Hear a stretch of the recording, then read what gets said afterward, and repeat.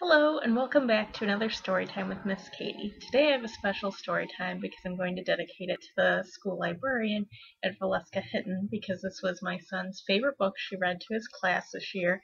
Every year she does a Ladybug Award at their school and this year the week of voting was to take place the very first week that schools were canceled due to the virus.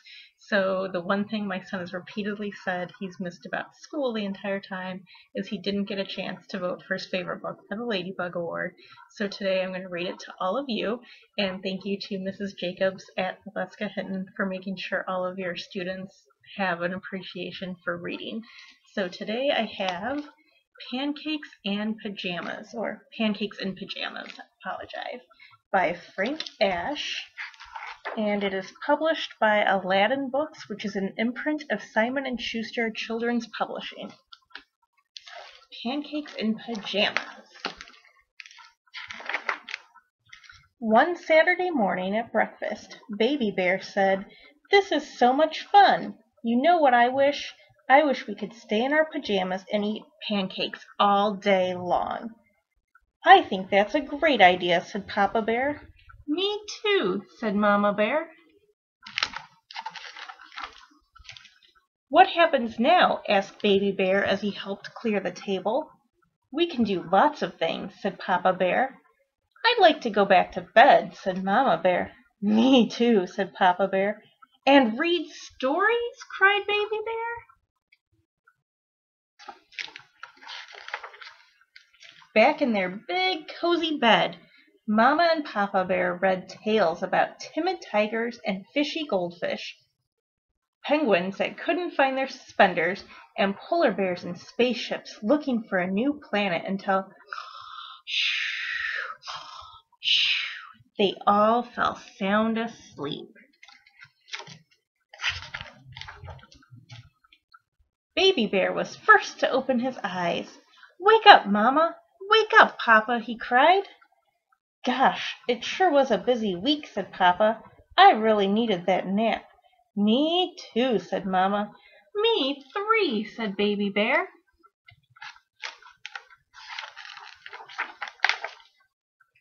After their nap, the Bear family played board games and threw cards into a hat. Oh, those are some of my favorite things to do with my family, too. Then they took a long walk in the park. You guys been taking long walks while you've been home? I've enjoyed doing that too. At the playground, Mama Bear played with Baby Bear on the swings, and Papa Bear played with him on the seesaw. That's always a lot of fun too if we get to do that. Then they rode bikes all over town. Have you ever ridden your bike around town in your pajamas? I haven't, but it sounds like a fun idea. All this fresh air and exercise makes me hungry, said Papa Bear. Me too, said Mama. Me three, said Baby Bear. Let's stop at Pete's Pancakes for lunch, said Papa Bear. Pete's Pancakes. Tell me, asked Pete when he brought them their pancakes, why are you all wearing your pajamas and riding bikes today? Is it some kind of holiday? I guess you might say it's Pancakes in Pajamas Day, said Papa Bear. That's right, said Mama Bear, and we're part of the bicycle parade. That sounds like fun, said Pete. If you wait a minute, I'll ask my wife and kids, and we'll join you.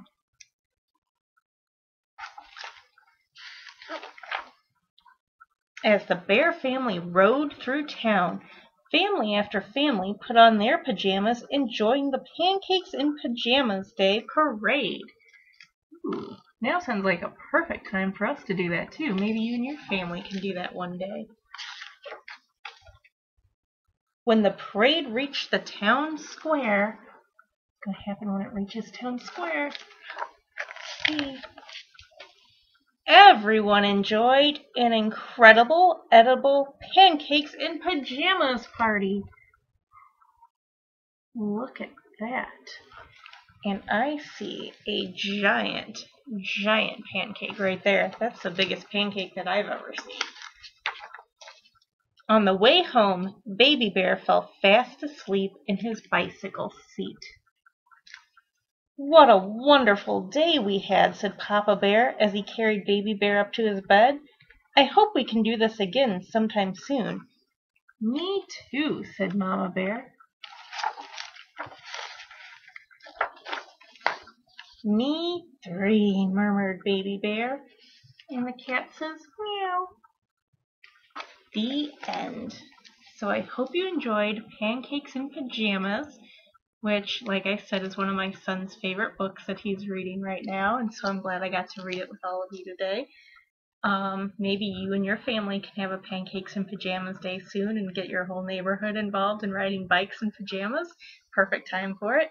Um, before we go, let's sing our goodbye song with Twinkle Twinkle Little Star. Twinkle, twinkle, little star, how I wonder what you are. Up above the world so high, like a diamond in the sky. Twinkle, twinkle, little star, how I wonder what you are. Good job. And I'll see you guys again another time, okay? Bye.